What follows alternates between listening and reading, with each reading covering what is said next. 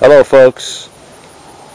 I've been out doing a little maintenance on my solar hot water heater this afternoon and I thought it would be a good time to shoot a little video to give you folks who are interested in this technology an update on how well the system has been working.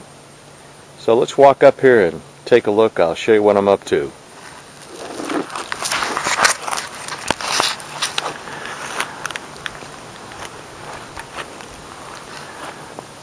For you folks who watched my first video, uh, this is a evacuated tube integrated solar hot water heater. Uh, the tank capacity is somewhere in the 45 to 50 gallon range. If you go back and watch my original video, uh, I've got the capacity stated and uh, it's about a year later and I'm a year older and my memory's not quite what it used to be. So uh, for purposes of this discussion, you get the idea. This is about 45 or 50 gallons of hot water storage.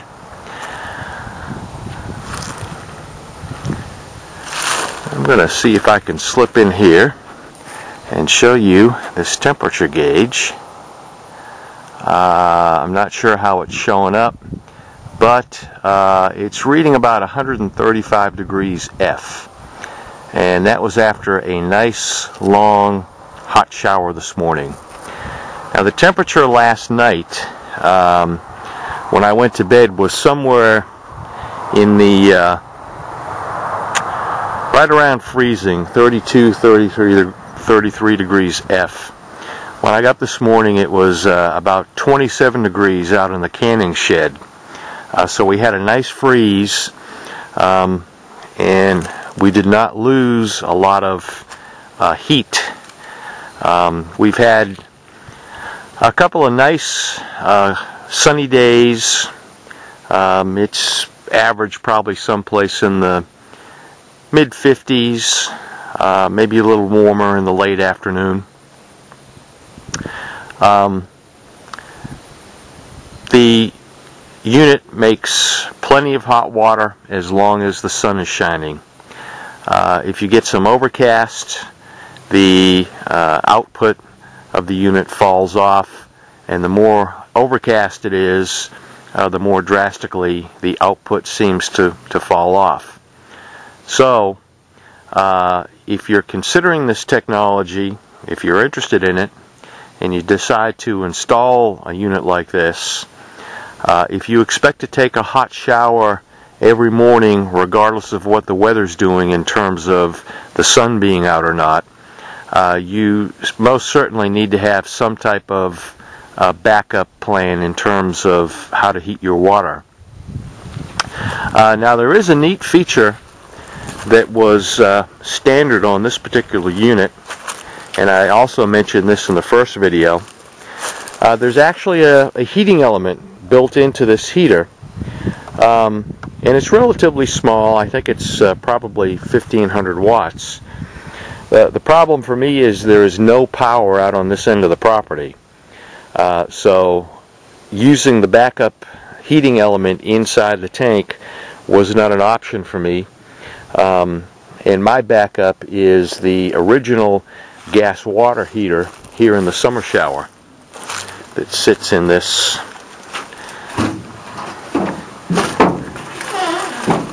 enclosure on the back of the shower. This is just a standard um, LP gas water heater that you can get from any big box home improvement store. And you can see the, uh, the plumbing um, arrangement. Uh, it looks a lot more complicated than it actually is. Um, one of the reasons that uh, the, the plumbing looks a little more um, tangled up than it normally would be is because uh, there is no heat out in this building.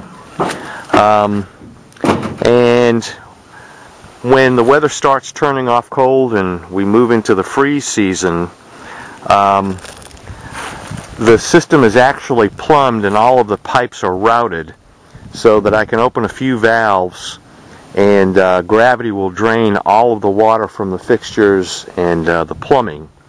So I don't end up with frozen and burst water lines. So, um, about a year, I think it's been 11 months or so since I posted that original video.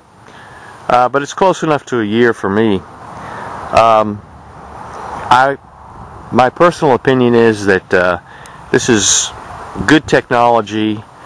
Uh, I haven't had any problems in terms of uh, equipment failures or glitches or the uh, as far as the collector system itself goes uh, it's been zero maintenance. Um, you can see the finish is holding up relatively well. This particular manufacturer used uh, aluminum for the uh, stand. Uh, there's actually a stainless steel skin on the outside of this tank uh, and then a stainless steel inner tank so it's well insulated. Uh, it, it holds the heat well. As I said, uh, 27 degrees this morning uh, in the canning shed. Um, and this morning when I got up uh, to take a shower, my routine is to come out and turn all of the valves and get the water cut on and pressurized. Um, I had 140 degree water and after a nice long shower this morning I've got 135 degree water in the tank and I suspect by the time the sun finally sets um, I'll have 140 degree water in the tank uh, this evening as well. Let me show you uh, what I'm doing on these tubes here uh, and this will give you folks who are curious about this technology a little better idea of how these things work as well. Um, I didn't uh, talk about the, the, the, innards of these uh, solar collector tubes in the first video uh, because I had already assembled the heater by the time I got around to making the video. But what I'm doing now is inside this uh, inside this collector tube uh, there is a, uh, a copper tube and it's actually called a heat pipe. And this heat pipe runs down the entire length of this glass, evacuated glass tube. Um, and it's uh, probably, I don't know, four feet, um, four and a half feet long. Um, it's sealed on uh, the lower end. It's actually crimped off and sealed. and then up on the top of the heat pipe, there's actually a little bulb uh, which is also made out of copper. And it is, uh, there's a joint right here where it's sweat onto the copper pipe. Excuse me. Inside this uh, piece of copper tubing, uh, they use, I believe, acetone. Um, and this is a sealed pipe. Uh, it's it's sealed on both ends of the pipe, uh, and there's acetone inside this um, copper tube. Um, another component um, of this arrangement is slide these out so you can see them. Uh, these are actually aluminum heat fins. And if you can see, I don't know how well the camera is going to catch all this, but if you can see, uh, these uh, aluminum heat fins actually contact the inside, the inner wall of this double wall glass tube. Um, and then the copper heat pipe sits in between the uh, aluminum heat fins. And this arrangement is to transfer the heat energy uh, from the inside of that glass wall um, from the heat fins into the copper pipe. Um, the action of the uh, the whole configuration uh, goes like this. This is a double-walled glass vessel, uh, not unlike a thermos bottle is probably a good analogy. The outside wall is clear, and the inside wall is coated with a material that absorbs the solar energy that is shining on the tube um, throughout the day. Um, the idea of the vacuum between the outer wall and the inner wall is to uh, prevent energy loss um, you want to capture as much as that of that solar energy as you possibly can. So in the summertime, it's not a big issue, but in the wintertime, when the ambient temperature tends to be low, uh, you could lose a lot of heat before it ever got transferred into the heat pipe. So this tube is actually evacuated. Um, the heat from the sun is absorbed into that material on the inner wall. It's transferred to these aluminum heat fins, which in turn transfers it to the heat pipe. Now remember I said earlier there's um, uh, acetone inside this copper pipe. Uh, what happens is the acetone boils as that solar energy is transferred into the copper tube. As it boils, it actually raises up this um, copper pipe until that energy ends up in this bulb. And this bulb, let's see if I can show you this, actually sits up inside a manifold. It may not be real clear, uh, but inside uh, the base of the uh, hot water tank, uh, there's a manifold. And there's a copper jacket um, inside that hole. What you're looking at is actually a real good shot of the uh, insulation between the inner and the outer tank. But then up at the top in the center, uh, there's actually another hole, and that's a copper sleeve um, that's uh, a manifold. And all of the uh, all of the heat tubes, if you look at this arrangement, all of these uh, heat tubes and collector tubes plug into that same manifold. And that's the way that the solar energy is transferred into the water. And you'll notice this bulb is the proper size to slip into that hole in the manifold. Uh, when the acetone boils, um, it vaporizes the hot um, acetone is forced up to the bulb. Um, normally when that bulb is sitting in the manifold, there's water, uh, cooler water uh, in that um, manifold or surrounding that manifold and that causes the um, gaseous uh, acetone to cool down. And when it cools down, it reliquefies and it drops back down the heat pipe. So you have kind of this little um, pump action going on uh, as that acetone warms up and cools down. And the energy gets transferred from the manifold in the tank into the water that surrounds the uh, manifold. So, basically no moving parts, uh, great efficiency in terms of collecting uh, solar energy and transferring it into water.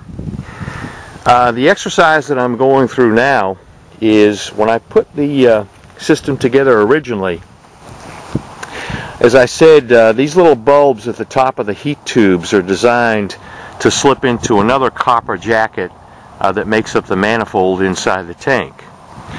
Um, it dawned on me that um, there's a certain amount of clearance, and granted it's not very much clearance, but there's a certain amount of clearance between uh, this bulb uh, and the jacket inside the manifold where the bulb uh, slips into. So what I'm doing is I'm taking each collector tube out and I am uh, putting a little bit of heat sink compound and I don't know if you can see this uh, but this is basically just heat sink compound it's a grease maybe I, I can kind of read that on the screen so hopefully you get the idea but this is just a grease um, and it's used uh, mainly in the electronics industry. And um, it is fantastic at transferring heat between uh, components. Um, if you've worked in the electronics business at all, or if you're a hobbyist, you know that uh, high current solid state devices uh, sometimes generate a lot of waste heat and um, you have to transfer that heat out of the device uh, into something else to cool the device down.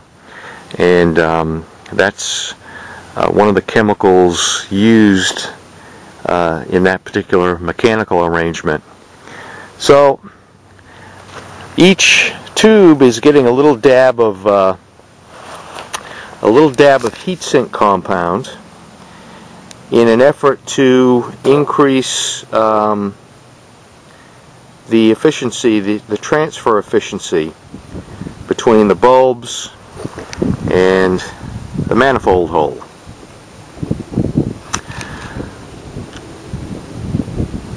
Think that about wraps it up for this installment.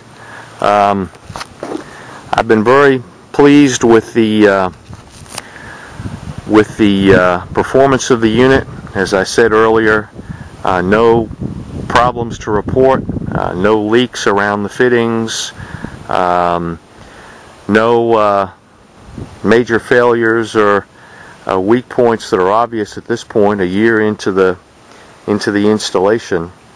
Um, my biggest complaint, if I have to be critical about anything at all, is the fact that the manufacturer used uh, organic real live cork um, to seal the heat pipe inside the tube. And you can actually see um, this particular cork is not in particularly bad shape but uh, there are several that I have removed and reinstalled that aren't quite as pretty as this one. And this, this whole arrangement actually gets so hot that the, uh, the cork is starting to dry out. This cork is not really going to cause any kind of serious problem, um, but it, uh, it is not holding up well to the amount of heat that this thing is generating on a regular basis. Um, Lastly, I'm going to uh, I'm going to post my Skype contact information in the basement box for any of you folks who uh, may be interested in in uh, installing this technology or something similar to it. Uh, if I can be of any help, uh, feel free to contact me via Skype. I've actually had uh, several people contact me through the YouTube email or message service um, wanting to talk about it, and it, it would be, I think, much uh, quicker and simpler for everyone involved if we just had a voice conversation as opposed to uh, trying to pass emails back and forth.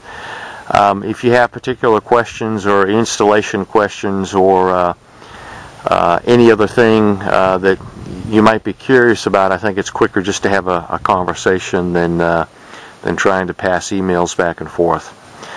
Uh, one other thing that uh, came to mind before I sign off here that I wanted to mention, uh, again, for you folks who are considering this technology, um, I have noticed a marked decrease in my gas bill, um, and I use LP gas. You can see the big tank sitting right around the corner there under the pecan tree, and I think that's a uh, I don't know, 250 or 300 gallon uh, propane tank. Um, I have noticed a marked decrease in uh, my LP gas consumption. Uh, my my biggest use for LP gas is uh, heating hot water. So obviously, um, since this is uh, this is my uh, primary source of generating hot water for baths and showers now, um, my LP consumption has gone down uh, noticeably. Uh, probably almost a 50% decrease in the amount of LP that I consumed uh, over the course of the last uh, 11 months or so. Um, the other thing that I want to mention before I sign off is um, this is a uh, high pressure version of this technology. And by high pressure, I mean the entire system is capable of operating at pressures um, that uh, most standard home water systems are uh, operating at. Uh, whether you're on city water or well water, uh, chances are the, the pressure in the pipes in your house is going to be somewhere between probably 30 to maybe 60 psi. Uh, this system can operate uh, in that pressure range, including the tank. Uh, the tank uh, can withstand those pressures without a problem. They make a more inexpensive uh, version of this system, uh, and the way they cut costs is twofold. Um, number one, they they don't use this heat pipe technology. Um, the the tubes, the glass tubes, uh, are actually uh, flooded with water. So rather than uh, this this whole scheme of transferring the heat through the heat pipe and then up into a manifold in the tank, uh, the water actually floods down into the tubes themselves um, via holes cut in the tank. Uh, the problem with that approach is twofold. Um, the first issue is uh, obviously freezing. Uh, if you're in a part of the country where you get down into uh, uh, the sun goes down and it, it, has a tendency to freeze at night or it potentially can freeze at night, obviously you're going to have problems with water freezing up in those tubes and you're probably going to end up with uh, a bunch of busted glass when you come out the next morning if they do freeze up. The other issue with the uh, with the non-pressurized system is that uh, they are non-pressurized. They are designed to be gravity-fed systems, which means that typically uh, they're meant to be mounted on a rooftop or an elevated uh, level, uh, and then gravity uh, is used to feed the water out of the tank and, and out the spigot. Um, there's nothing inherently wrong with that uh, other than most home uh, systems are not designed to be gravity fed systems so it will take a little bit of uh, creative engineering um, for you to adapt a unit like that for use in your home now uh, if you have an outbuilding uh, where you don't have to uh, uh, utilize a pressurized water system. Uh, there's nothing wrong with uh, a gravity-fed approach.